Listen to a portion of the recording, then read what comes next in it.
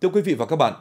hiện nay dịch COVID-19 đang diễn biến rất phức tạp. Để đảm bảo công tác phòng chống dịch COVID-19, hạn chế nguy cơ lây lan ra cộng đồng thì công tác quản lý giám sát đối với các trường hợp đã điều trị khỏi COVID-19 hoặc các trường hợp F1 hoàn thành cách ly tại các cơ sở tập trung khi trở về địa phương vẫn phải thực hiện nghiêm việc thực hiện cách ly tại gia đình.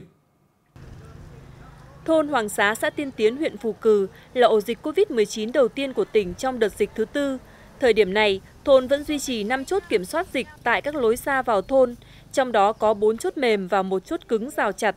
Toàn thôn có 29 F1 đã hết thời gian cách ly tập trung trở về địa phương từ ngày 19 tháng 5 và 2 F0 đã điều trị khỏi COVID-19 được trở về địa phương ngày 22 tháng 5.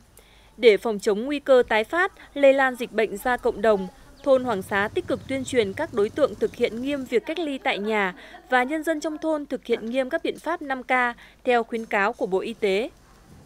Xã chúng tôi là thực hiện ờ, nghiêm túc sự ờ, cái chỉ đạo của Bộ Y tế cũng như là chỉ đạo của các cấp thường xuyên là cho lực lượng giám sát, theo dõi những trường hợp mà tự cách ly tại nhà và chúng tôi ý thức làm tốt như vậy thì sẽ không có cái sự lây lan ra cộng đồng. Xã Hải Triều, huyện Tiên Lữ hiện còn 8 trường hợp phải cách ly tại gia đình do có liên quan đến ổ dịch tại Bệnh viện ca cơ sở Tân Triều.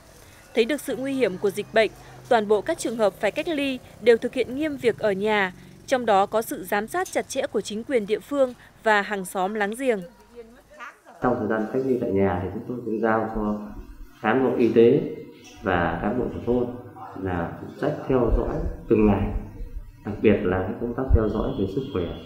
thì đo kiểm tra và đo thân nhiệt từng ngày. Có những bệnh nhân nguy cơ sau khi điều trị ờ, COVID đủ điều kiện ờ, ra viện thì bệnh nhân có tái dương tính trong cơ thể họ vẫn có virus nhưng virus theo gen thì ờ, những cái gen E nó không có biểu hiện lây lan như gen RP, RD. Còn những bệnh nhân mà sau khi điều trị mà ra viện đủ điều kiện mà có tái nhiễm với virus chủng khác